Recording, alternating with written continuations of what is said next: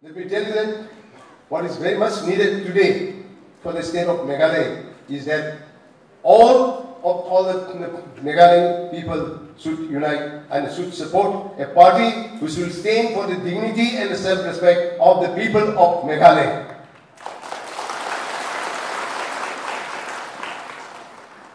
I think all of you know who is leading this party at present after P.A. Sangma.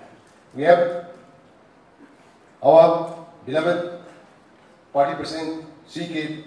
Sangma. He is much junior to me in age, but uh, maybe I may have more experience in terms of governance, etc. I've served as an Indian Police Service officer for 37 years. I was had worked for seven years, six and a half years as DGP Manipur. And I said, but what I've seen, what I see is that I see what is most important for a human being. How do we communicate with a human being? When you go to a place where you do not know the language, what's the best way of communication? A smile is the best way of communication. And Mr. Sangma has got a very charming smile with which he communicates with everyone.